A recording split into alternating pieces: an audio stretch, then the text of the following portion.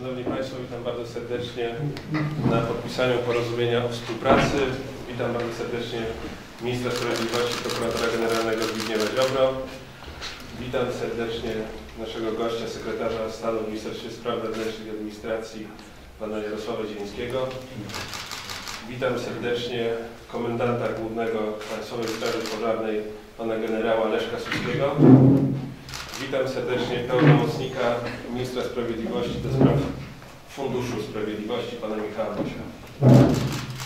Za chwilę, proszę Państwa, przystąpimy do podpisania porozumienia o współpracy pomiędzy Ministrem Sprawiedliwości jako dysponentem Funduszu Pomocy Pokrzywdzonym oraz Pomocy Postpenitencjarnej Funduszu Sprawiedliwości, a komendantem głównym Państwowej Straży Pożarnej w związku z udzieleniem dotacji celowych z Funduszu Sprawiedliwości na rzecz Ochotniczych Straży Pożarnych w 2018 roku.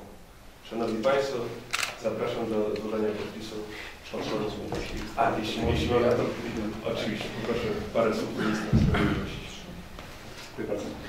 Chciałem bardzo podziękować panu ministrowi Jarosławowi Zielińskiemu, że y, i panu komendantowi Państwowej Straży Pożarnej, y, że zechcieli dzisiaj y, zaszczycić nas swoją obecnością i wziąć udział w tym spotkaniu. To bardzo ważne wydarzenie, dlatego że Ministerstwo Sprawiedliwości zaangażowało się poprzez swój Fundusz Sprawiedliwości w wspieranie Ochotniczych Straży Pożarnych.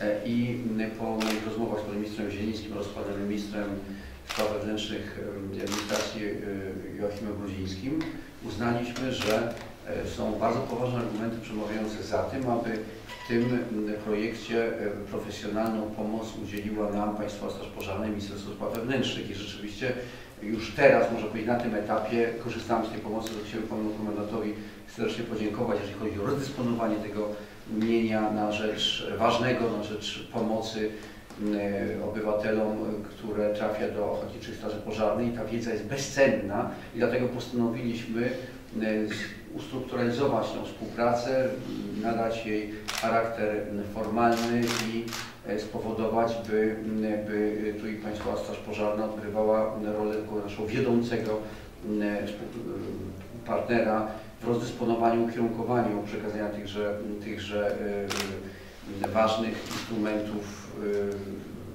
pomocy służącej Państwowej Ochotniczej Straży Pożarnej. Kto jak kto, ale to właśnie Państwowa Straż Pożarna najlepiej orientuje się E, w skali potrzeb i kierunku ich rozdysponowania, jeżeli chodzi o wsparcie ochotniczych straży pożarnych. To bardzo ważny program. Jeszcze raz chciałbym podziękować na ręce pana ministra Zielińskiego też i panu ministrowi Brudzińskiemu, całemu kierownictwu MSWiA i oczywiście Państwowej Straży Pożarnej za włączenie się to ważne przedsięwzięcie, przedsięwzięcie rządu dobrej zmiany. My nie mówimy, my też, albo mówimy, ale też i za tym, za tym idą czyny, idą konkretne działania. To jest wyrazem podpisanego porozumienia. Dziękuję bardzo. Dziękuję Panie Ministrze. Poproszę o zabranie głosu ministra Jarosława Zielińskiego. Chciałbym podziękować również Panu Ministrowi Zbigniewowi Ziobro wzajemnie za to, że podjął taką decyzję, aby środki z Funduszu Solidarności zostały przeznaczone na wsparcie systemu ratowniczo-gaśniczego, a dokładnie Ochotniczych Straży Pożarnych, bo one stanowią to drugie obok Państwowej Straży Pożarnej ważne, powiedziałbym nawet równorzędne płuco naszego systemu ratowniczo-gaśniczego, od którego zależy, od którego sprawności, od którego spójności zależy nasze bezpieczeństwo. Straż Pożarna i Państwowa i Ochotnicza to są formacje najbardziej wielofunkcyjne ze wszystkich służb. Jak wiemy, one nie tylko gaszą pożary dzisiaj, jedynie 25% aktywności Straży Pożarnej to jest gaszenie pożarów, a 75% w skali roku to, są, to jest reakcja na inne zagrożenia i zdarzenia. Wypadki komunikacyjne, e, e, działania sił natury, a więc klęski żywiołowe i zjawiska noszące takie znamiona, e, to jest reagowanie na zagrożenia ekologiczne, biologiczne, a nawet jak dzieje się coś takiego, z czym obywatele nie potrafią sobie sami poradzić, no, ta przysłowiowa jaszczurka piwnicy albo kot na drzewie, to gdzie dzwonią? Do strażaków, oczywiście do na ogół Straży Ochotniczych. Ale to jest tak trochę żartobliwe. Natomiast, proszę Państwa, naprawdę Straż Pożarna to jest, to jest służba ratowniczo-gaśnicza z nazwy, ale ona dzisiaj jest bardziej ratownicza niż gaśnicza, jak widać po tych proporcjach 25 do 75% aktywności. Straże ochotnicze wymagają wielkiego wsparcia, jest ich dużo. 14 tysięcy jednostek OSP w skali kraju. To jest naprawdę wielka siła.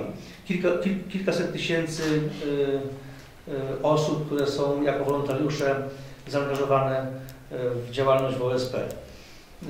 Kierunek temu wszystkiemu nadaje Państwowa Straż Pożarna i to właśnie komendant główny Państwowej Straży Pożarnej, zarazem szef obrony cywilnej kraju, odpowiada za spójność, za sprawność i jednolitość systemu ratowniczo-gaśniczego w Polsce. Dlatego dobrze się stało, bardzo dziękuję, to jest drugie podziękowanie Panie Ministrze, że właśnie została Państwowa Straż Pożarna i y, na czele z jej komendantem, także wyznaczonymi funkcjonariuszami w terenie, że została włączona właśnie w ten system wsparcia, e, które, które będzie udzielane z Funduszu Solidarności, bo w ten sposób będzie można e, najlepiej zdiagnozować potrzeby i wspólnie ocenić, gdzie trzeba te środki y, z tego funduszu skierować, aby ten cały system dobrze działał, był sprawny i skuteczny. Myślę, że obok dotacji y, budżetowych, które są kierowane z budżetu MSWiA, oprócz y, tych środków, które są kierowane do Straży Ochotniczych z programu modernizacji służb mundurowych, bo objęliśmy również Straż Ochotniczą programem modernizacji na lata 2017-2020. Także oprócz środków kierowanych z y, tego odpisu, ustawowego odpisu od ubezpieczeń od ognia z firm ubezpieczeniowych, ten fundusz będzie bardzo wzmacniał cały system ratowniczo-gaśniczy w Polsce i dlatego wydaje mi się, że to wielka sprawa. Chcę podziękować bardzo serdecznie i powiedzieć z całym przekonaniem, że tym wspólnym działaniem osiągniemy na pewno większą sprawność, większy, zwiększony będzie potencjał całego systemu ratowniczo-gaśniczego, a więc wszystko to będzie służyło e, bezpieczeństwu naszych obywateli, bezpieczeństwu Polski, bo przecież te służby, tak jak Straż Pożarna i inne formacje, działają na rzecz bezpieczeństwa państwa i obywateli. Bardzo dziękuję Panie Ministrze. Teraz o złożenie podpisu pod porozumieniem o współpracy poproszę Pana Komendanta Państwowej Straży Pożarnej, Pana Leszka Suskiego oraz pełnomocnika Ministra Sprawiedliwości do spraw funduszu, Pana Michała.